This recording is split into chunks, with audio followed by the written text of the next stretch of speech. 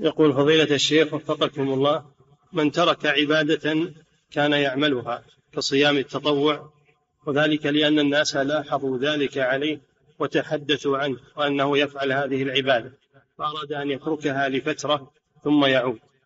فهل له ذلك؟ وما معنى قول بعض السلف ترك العمل لأجل الناس رياء والعمل لأجل الناس نفاق؟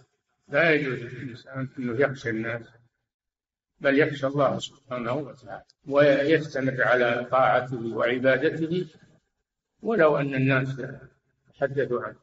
وإذا تحدثوا عنه وهو لا يريد هذا وإنما هم تحدثوا عنه فهذا قال النبي صلى الله عليه وسلم تلك عاجل بشرى المؤمن.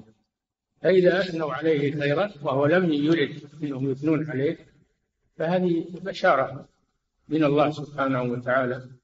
لأنهم شهدوا له بالخير.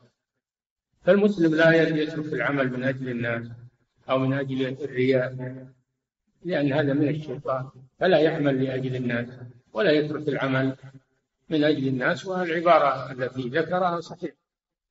نعم.